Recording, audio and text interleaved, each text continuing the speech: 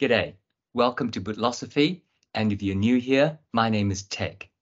I acknowledge the traditional custodians of the uh, lands that I live and work on here in Perth in Western Australia, uh, the Whadjuk people of Noongar Boodja. Now, today I'm very excited because I'm bringing to you an interview with a uh, an experienced podiatrist to talk about how boots fit and what we need to know about our feet um, so I'm very uh, pleased to welcome Mr. Anthony Cox.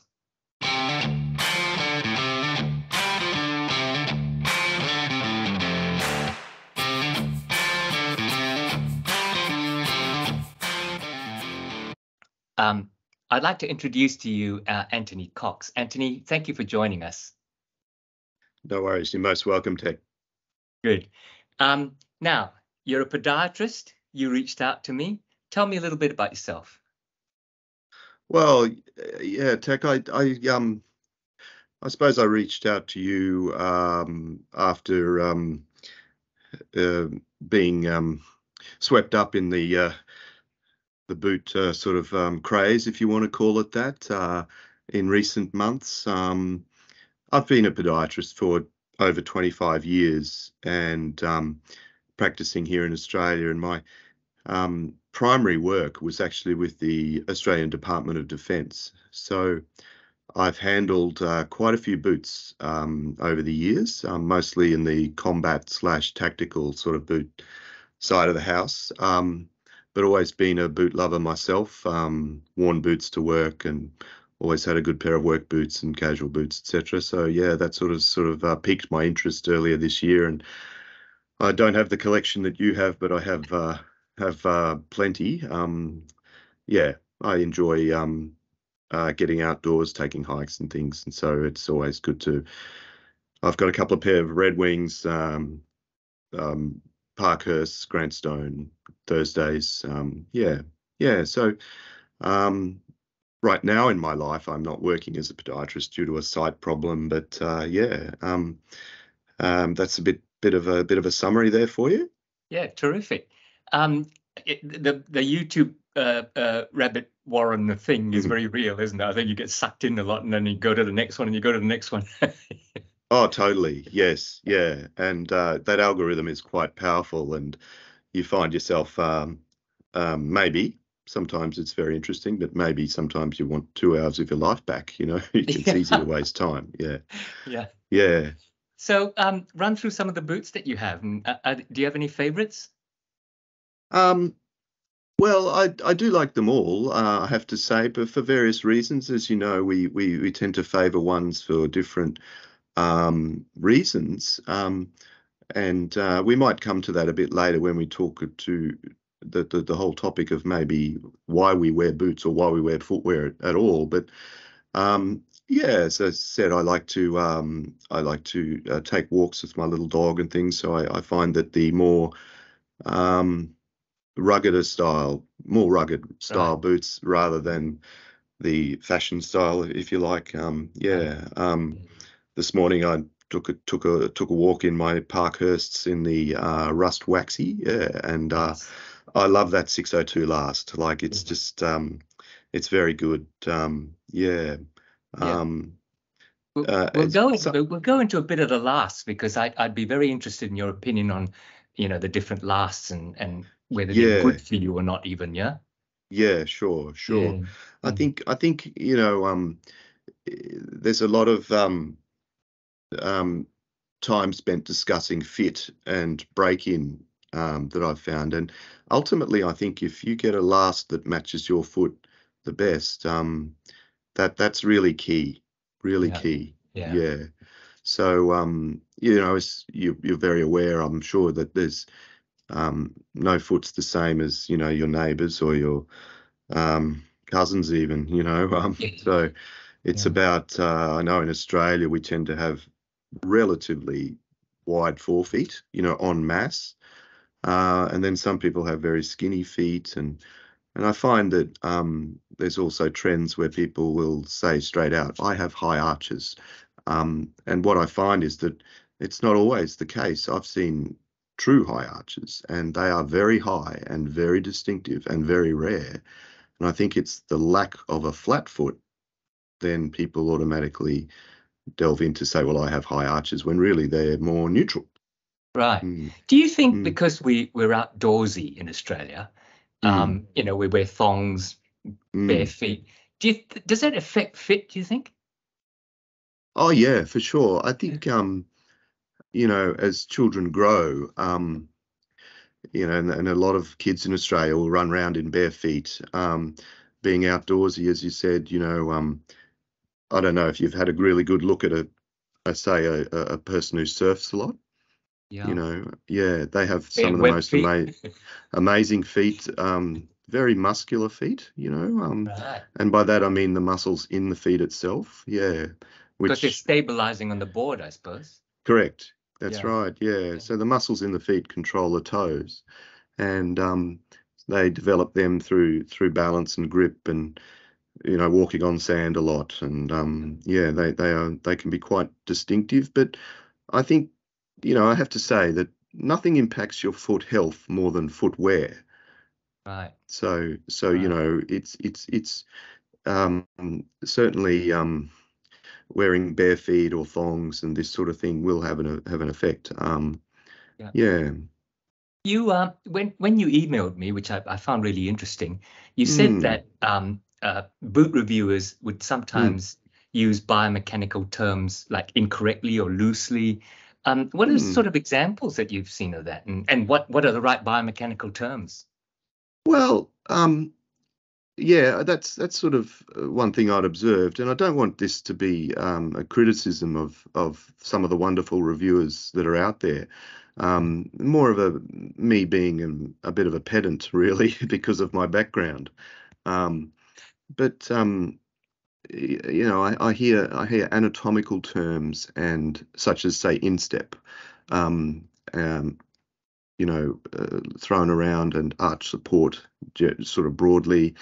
Um, I think I saw somewhere the other day where there was a claim that having a too narrow a toe box could cause plantar fasciitis and you know this is professionally frustrating for me you know right, um, right. so so that's sort of more what what sort of sprung me to to to reach out and just have yeah. a chat like this make of it what you will like i said yeah. no criticism you know yeah well, yeah. the, the, more we know fact, the better. I, I mean, I I found you earlier when you were talking about somebody identifying with high arches, not mm. really having high arches. I mean, I I'm not even sure if I have flat feet. I have very mm. low arches, you know, um, mm. and and my my feet is it called pronating when you turn in? It is, yeah, yeah, yeah. So yeah. so it, it's it's difficult for a um, non-professional. You know, we all wear boots, and I have a feel for my boots, but I don't really know why certain boots feel certain ways, you know? Hmm.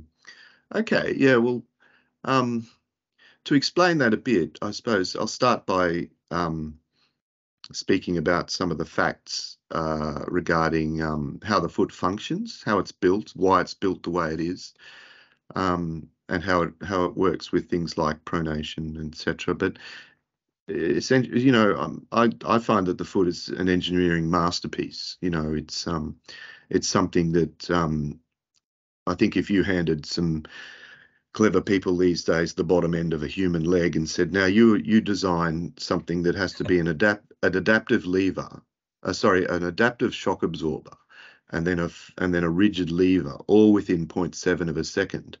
I think they'd struggle to do it. Um, because that's the reality of what the foot does.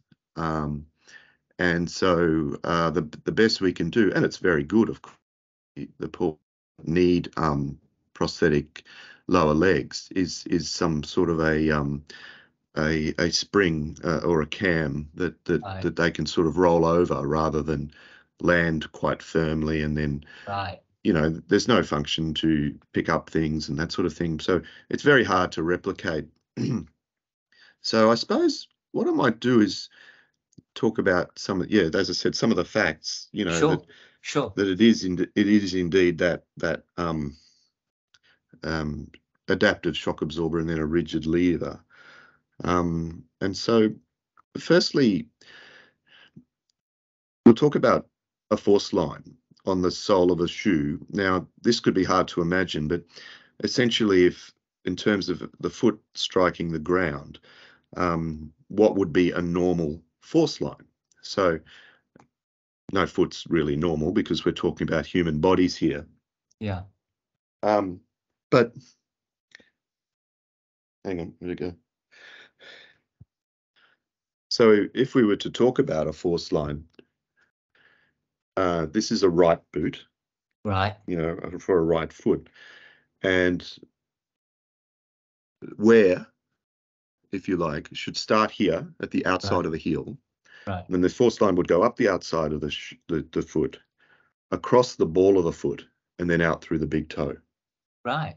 Okay, so Right. so yeah, as I said, striking here, up the outside of the foot, and then across the ball of the foot, and then out through the big toe. The big toe is the big toe for a reason. Um, it takes a lot of force, and the big toe joint, if you like, where it joins the first metatarsal, is a very important joint in terms of gait and stability and things like that. So so that's that's a start. And that when it transitions when the force transitions across across here that's when the foot is rolling in or pronating as you spoke about. Now um just because to look at standing up say in the shower you have flat feet it doesn't necessarily mean you pronate excessively um pronation is a normal process so we Okay. have to pro we, everybody has to pronate a little bit Okay. um, in it's one of the five major shock absorption methods that we have between our big toe and our hip. okay. So, and also to stop pronation is virtually impossible unless you put the foot in a plastic cast. So, um, yeah, that that um, you can limit pronation. You can change the timing of pronation, and as I said, um, if you pronate for too long or for too hard or or at the wrong time in the gait cycle, then that is linked to certain problems. Yeah, but it, it's not all it's not all dark and bad. That's for sure. Yeah. so if I if I that that force line, Yes. if I translate that into layman's terms and, and physics, because Mm, not rather yes. biomechanics, so you you you basically strike on the outside of the heel and Yes. roll for stability to the ball, and then push off with the toe. That's why the line goes that way, is it? That's right. Right. Roll roll a little bit of roll for cushioning. Yeah. And then the, as the foot then rolls out ever so slightly, that's the stability to propel you forward. That makes sense. Yeah. Okay. Yeah. Yeah. I, So- I hadn't thought of that before. I always thought Yeah. your foot went clump, clump, clump. yeah uh, you know it's it's it's and it's it's actually a um i suppose it's a twisting motion it's not really a collapsing motion or a turning out motion it's a combination of we look at things in three planes so three anatomical planes and there's movement in each of those planes so it's it's not as simple as one might think um just on that note of the force line while i remember because it's normal to strike on this outer border of the shoe, this lateral border, that means that if you get excessive wear here, we I would consider that completely normal. right. Yeah. So if I was to divide the heel of the shoe into quadrants, Right. it would be that upper outer quadrant, right. which would be normal wear. right. And that is actually because we don't all stand with our feet directly straight in front of us, if you like. I'll just see if I we all Yep. turn out a bit. We're all Yep. sort of five to one on the clock. Yep. So that means that we're always going to strike on that outside. Yeah. However, if if you have someone who is what we call an in-toed gait or pigeon-toed gait, they will actually wear on the inside right. because they are striking on the inside. Right. Yeah. Right. So that's that's um uh, that's a query that I've I've had a lot over the years where people say oh, I must walk funny or I must roll too much or something, but it's completely normal to have that wear on that uh, uh, upper outer quadrant. Yeah. So, not wanting to go off track completely, what do you think about these barefoot soles or barefoot shoes? Well, Teg, um, that is a tin of worms that uh, I'm not sure we should open right now. Um, I'm not sure how long we've got. Um, but I will say that I'm not totally against the barefoot shoes. I mean, again, being the pedant, that is a contradiction in terms. But um, what I would say is that they will work for some people. um, and that's great. And um, um, that, but that doesn't mean that it is good for everybody. Um, um, the facts are that the sale of barefoot shoes or barefoot runners or minimalist runners are on the downtrend. If you do a search Okay, on, right. it is on the downtrend. Has been for some years. Um, I view it as a bit of a fad, um, if you like. Um, and the the premise that a lot of the believers in these sort of footwear come from is that it's natural. right. And to that, I might say, well, so's uranium and so's butter. yeah, yeah, yeah. Um, so, so um, that is quite different from walking around bare feet or walking around in in loose thongs, though. I imagine is that right? Well, well, thongs are different again because you have to grip with your toe to keep the thong on your foot. Um, but that what you're doing is essentially just providing a very thin cover over the foot to offer a very small amount of protection and allowing the foot to function as if it were bare feet. Right, right. Yeah, and there's no there's no evidence out in the scientific literature to say that it will make you run faster or more efficiently or anything like that. Interesting. Um, Yeah, but Yeah. but but you know, if if it works for someone, and I've had people um who've come to me and said I've had problems with my shins or my knees or my ankles, and I changed to this style of running and this type of shoe, and I have no problems now. And I said, well, that's great. You know, I don't say you're doing it all wrong. You know, Yeah, of course. um. Yeah. Um, That's- but often yeah, I think that's they, that's one of the things that you said at the beginning that everybody's foot is different, and and Yes. it, it it worries me sometimes that um, people do message me and say, "Oh, do you think I should take a size this and that brand?" I'm like, oh yeah, look, all I can do is tell you what last fits me and what size fits me. You know. exactly. Yeah, yeah. Yeah. So the fit the fit side of the house is is is tricky for everybody um, because some will work better for some and not for Yeah. others. Yeah. Mm. So, um, just going back to the biomechanics, in terms of Hmm. um, that force line, Hmm. um, what about the top of the boot? Is, is there anything in Hmm. that that sort of uh, we should look for? Well, you do you mean like in the top of the like the upper and the Yeah, the vamp, yeah, the vamp yeah, and like, and where the the um the eyelets might be in and, and where the like that. support should be, where the eyelets might be. Um, should they close tight or loose? You know that across what I call the instep. Yeah, no, well, that is the instep. That's right. Yeah. Um, but yeah, it's it has to be, um, I suppose, um, what we call snug. You know, so you want you want something that's snug without being uh, too firm. Um, as a general rule, if I was giving advice to someone about, excuse me, footwear in general or or boots, but we do like a small gap between the eyelets. Um, I know that there are some of the dressier boots which will come quite up close um, when you do up, particularly those last two or three eyelets. And um, you know, if that happens and it feels firm everywhere else, it's a good fit, nice and snug everywhere else. Well, yeah, that's fine. But as a general principle, um, you know, I was taught many years ago that say you're buying joggers, that you would be looking for a 25 mil gap between the eyelets. Yeah. okay, all right. Yeah, as a as a general rule, but then that can Mm. become very hard if you have a very skinny foot or something like that. So, but but Oh. generally, it's it's I suppose while we're talking about that, I'll just mention what makes I suppose a good shoe or boot from a biomechanical standpoint, Mm. and I'll do that. Um, Grant Stone diesel. Yep. So, uh, but number one, we look for what we call a firm heel counter. So, obviously, the counter we, we're pretty on the same page there. So that's really very quite firm. If I squeeze it, and if I push here, then Yep. I'm getting next to no movement. You know, it's very stiff leather, and there's that would be reinforced with with leather or some such. I'm not particularly Yeah. with what's inside here. So that that's very important. And that the reason for that is because if you control the heel, you can control the foot. Right. Yes. That's your again, part of-. Yeah, exactly. Stability. So that rolling in or rolling out excessively will be limited. It won't be stopped. It will be limited by a firm heel counter. Okay. Yeah. So that's number one. Number two is what we call torsional stability. And I've heard you refer to this before.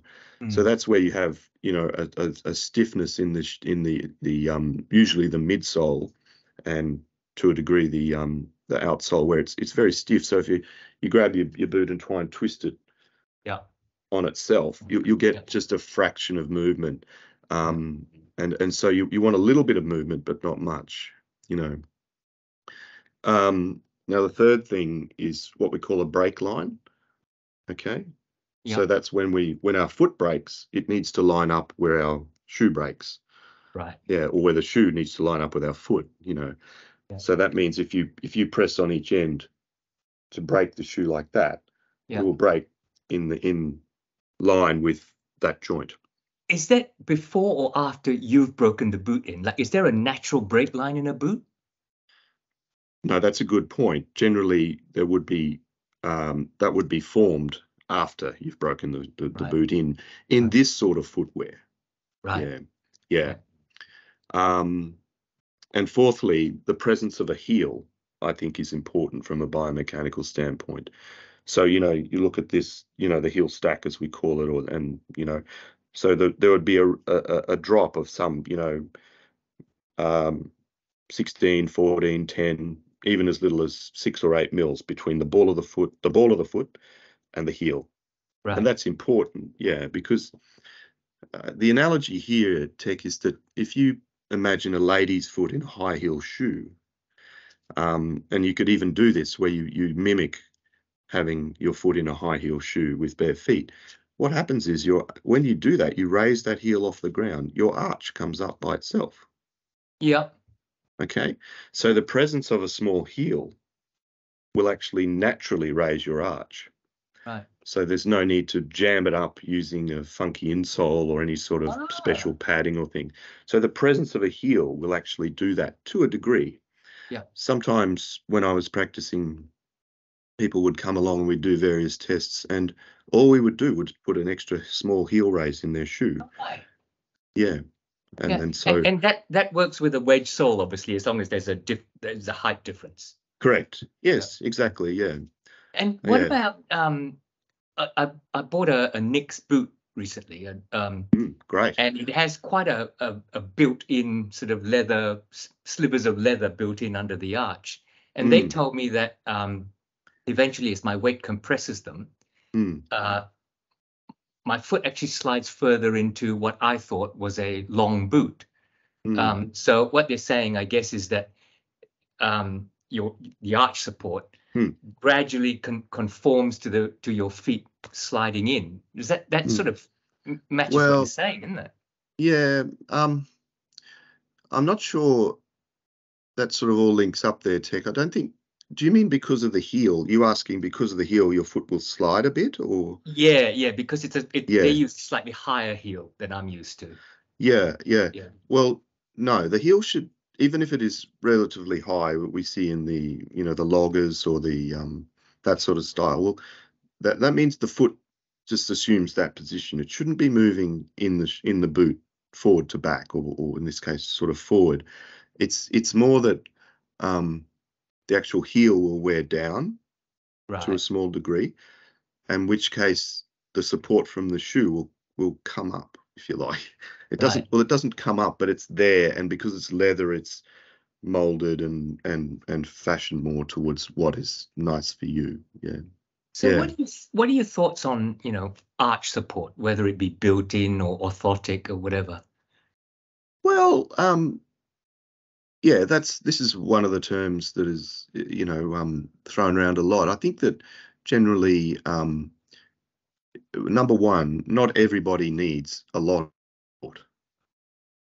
And in saying that, some people need a lot of arch support because it's a you know it's a human foot and variables in and how the foot is built and the degree of flexibility and then what you're doing in the boot. You know, if you're doing a lot of heel to toe walking, then a lot of arch support. But um, yeah, I think what what I was trying to say before about the features of the shoe, good footwear, then that, that you'll get a degree of arch support from a shoe alone, a right. good shoe. Right. Um, whereas if you have a shoe that doesn't um, meet those criteria, then you're not going to get as much arch support. So I suppose, you know, um, I'll just show you on another shoe. Um, this is just an old work boot of mine, but Love it. Mm, soft heel counter, right. really soft, Yeah. very easy, very easy to twist on itself, Yeah. and pretty much breaks wherever I want it to break. Right. Okay. Right. Yeah.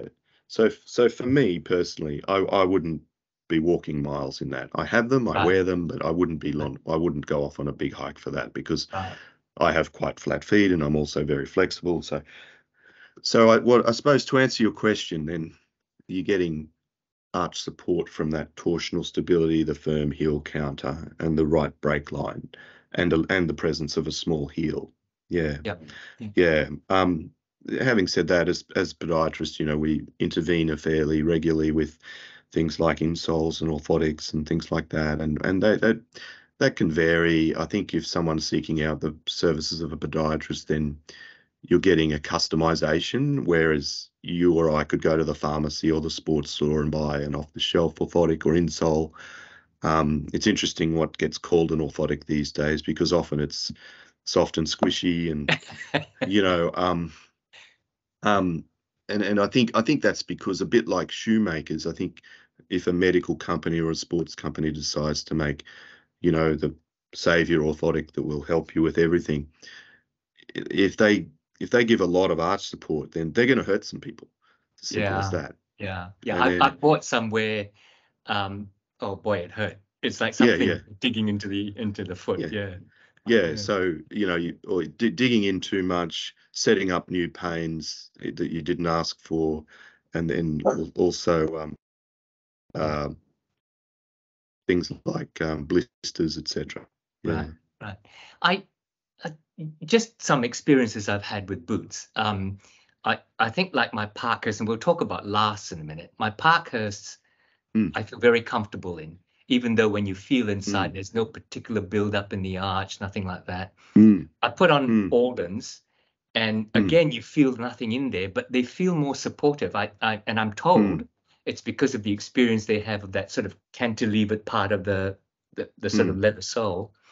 Uh, Mm. and then I've, I've worn Pacific Northwest boots where they do build up the arch with with slabs of Mm. leather, and it feels really Mm. supportive. So, three different styles of boot making, mm, and all three make me feel very comfortable. What's wrong with me? Mm. well I'm, I'm not sure I, I you know i'm not sure that there's anything necessarily wrong but that that de- degree of arch support you, know you can achieve in different ways um you know like i said the features of the boot itself and then in in particularly in the midsole or even the insole. Um if they can achieve where there is a, a even a small amount of extra let's call it raise you know raise within that what would be the medial arch of the foot if you they can achieve where you feel like you're standing on a tapered pipe.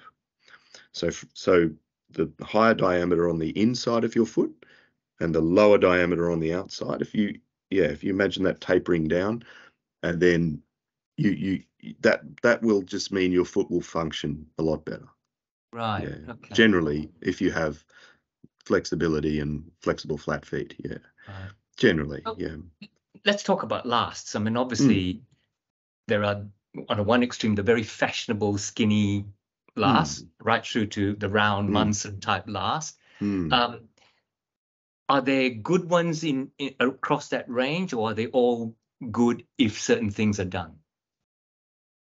I think I think a last you know um, a lot of thought and um, preparation and design goes into a last because if you get it wrong, it's it's it's you know huge problems if you want to sell lots of footwear. Um, and I think it, what in terms of last being better than you know one or the other is it's more towards whether your foot um, appeals to that last, if you like, you know. So, um, yeah, um, I think that one we mentioned before, the the 602 is is essentially an E width at the forefoot, but then it's quite narrow in the heel. So that will suit certain people. Other ones that will be narrower uh, will suit a narrower foot, but it's not as always as simple as width or um, because that toe box particularly, um, what happens there? It's it's it's it's basically volume, because you know if you were to take the insole out of any shoe or boot and then stand on it, you'll find that the edges of your foot almost inevitably will spill over the edges a bit. Right. Yeah. Yeah. However, when you put that insole in and then put the shoe or boot on, you find well it fits and it's snug. That handshake feel they speak of and that. So it's um it's more about volume inside that that toe box. Yeah, that's certainly for that that end of the boot, and then with other areas, you know, the heel, as I said, there's variances where you can have a narrower heel and it tapers out to a wider forefoot, or one is, you know, relatively wide all the way through, that sort of thing. You know, Yeah. Yeah. usually, generally in medical footwear, and I know we're not really talking about medical footwear, but the last is is bigger, if you like, because then that translates to a shoe that's ever so slightly deeper and ever so slightly wider. So I suppose it it comes back to fit for the most people, if you like, and that may vary country to country or something like that. But then also, um, it will it will um, be a function of what what you're going to do in the boot. And this comes to back to what I was saying before about why we wear boots. You know, um, I tend to I tend to like have a boot to walk in because when I've got a boot on, I I feel a bit bulletproof, quite frankly. You know, um, whereas whereas when um, you know the some of the guys in America speak about being on ladders all day, you know, then the boot's doing a different thing. Ultimately, we wear footwear for protection and support. Yeah. And then the third factor, which is a big factor, is fashion. Yeah, yeah. And Mm. in terms of, I mean, I, I know what you're saying about bulletproof. In, in terms of the the support around your ankles and and so on, that's that's an important part of bootery, isn't it? Oh, I think so. Yeah, I think it is. Um, and I think a lot of that, it's probably a feeling you get as well. Um, why people will choose to wear a boot, often even if it's relatively warm climate, um, because of that support. However, I'll point out that um, people will say, "Oh, boot will give you more ankle support," but if an ankle wants to sprain, it will sprain.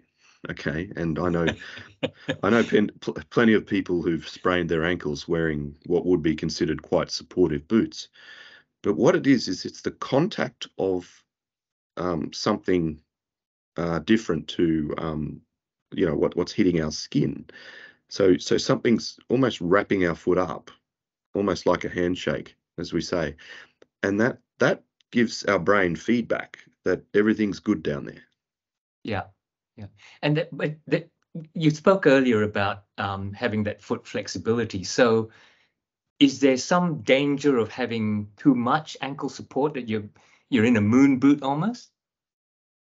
Well, yes, I think you'll find that that footwear that um, requires uh, some sort of activity or um, or uh, you know movement, say hiking or or or trekking or working, um, um, then you need a certain degree of flexibility. Um, the way moon boots work is that they take the total load off your ankle and and foot complex by providing a cam Yeah, to walk on. Yeah. yeah, yeah. Um, yeah. because I do have some uh, eight-inch boots, which I, I actually find quite uncomfortable because they, they Mm. don't give me that flexibility when I I, I Mm. take them hiking because I'm thinking, you know, ankle support, you know, good and Mm. rough ground. But I do find them uncomfortable. Like they they Mm. they're almost keeping me too stiff. Yes.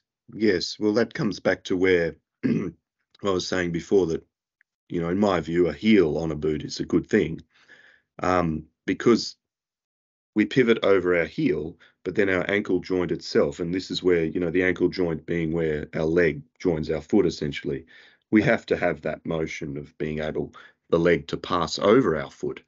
So if a, a very rigid boot is going a fair way up your leg and it's laced fairly hard and and it's got rigid leather, then it's going to limit that motion. Right, right. Um, I, I wouldn't mind talking about sizing because particularly for us in Australia buying uh, American boots, it's a bit of a, a gamble when you're buying uh, online. Um, so in terms of sizing, we spoke about feeling snug um, and Mm. widths and so on. What should you be looking for? Because I, I, some people is- uh, you, you see in these forums, they're saying, "Oh, you know, uh, it's a little bit snug. I'm usually a D, but I've decided to go double E, and it fits really well." And I, it Mm. kind of worries me about this sort of potluck sizing. Mm. What should Mm. you be looking for? Well, it is. I agree. It is a bit potluck, particularly when you're um, buying them online. Um, and um, uh, you know, my advice would always be to try it on in person before you, you know, commit your hard earned.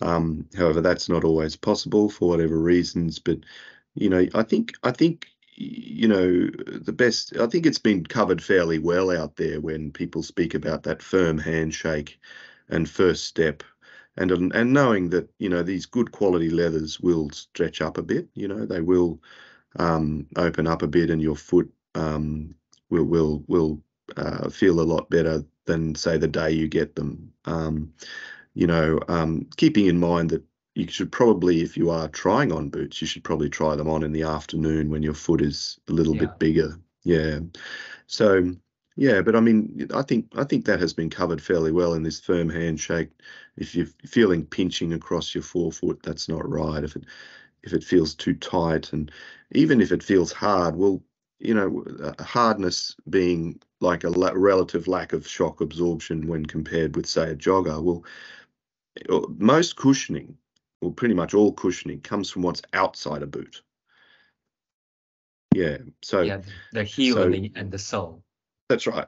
That's Yeah. right. Yeah. So if that's if that's a firm um, compound or or or uh, you know uh, material, it's it's going to feel firm underfoot, and that's just the nature of it. And it's that's just it's a bit like tires. You know, you can have a soft, squishy tire that will Yeah, ride beautifully and be really good in the wet, but it'll wear out quickly. Whereas you yeah, have a, a rugged old truck tire, it'll last you know 15 years. So because it's harder, more dense rubber. So Yeah. but yeah, fit fit is it, it's tricky and it's very personal. It's very personal. I know that the sporting footwear companies or the running shoe companies will actually design a shoe so it feels quite amazing in that first step. Right.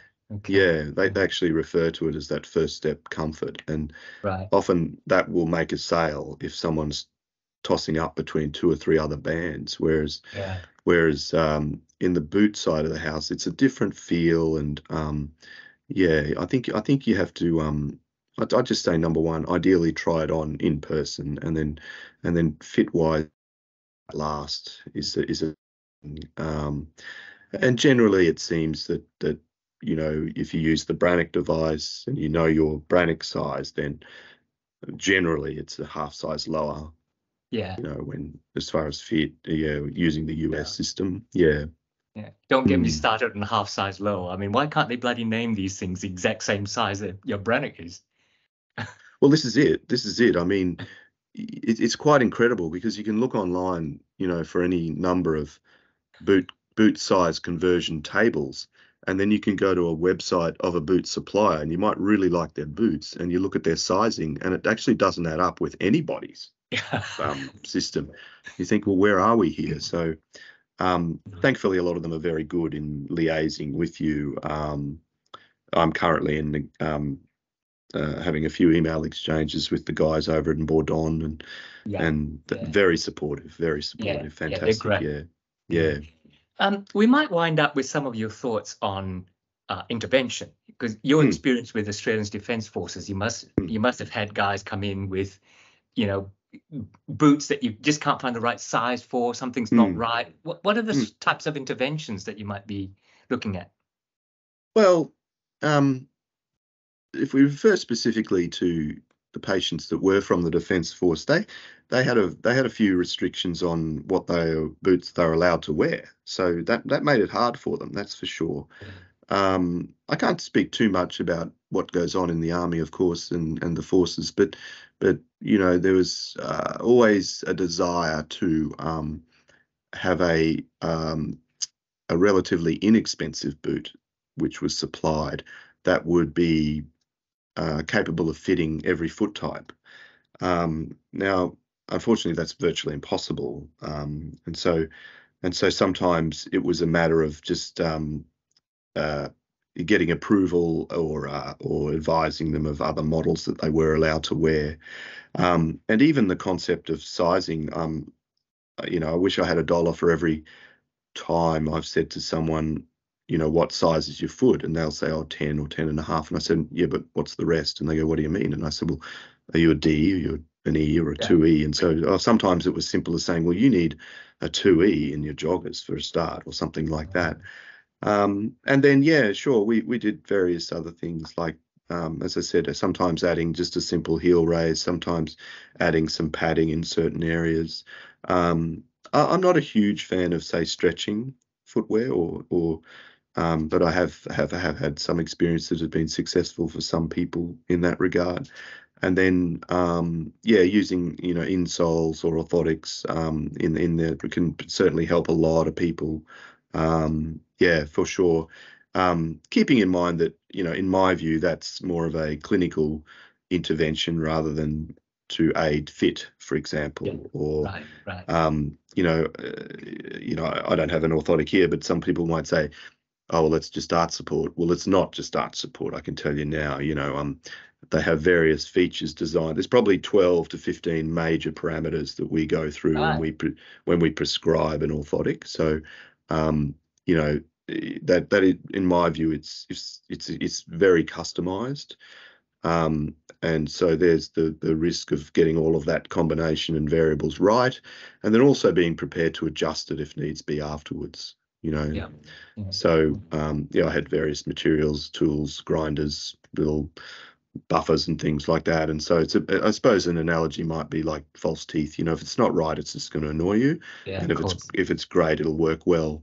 Yeah, yeah. but yeah. but yeah, um, you know, and and and, uh, one of the main interventions, as I mentioned before, was just just good footwear advice, like doing that. What I said, picking up the shoe, bending it, twisting it, and coming from that engineering slash physics background.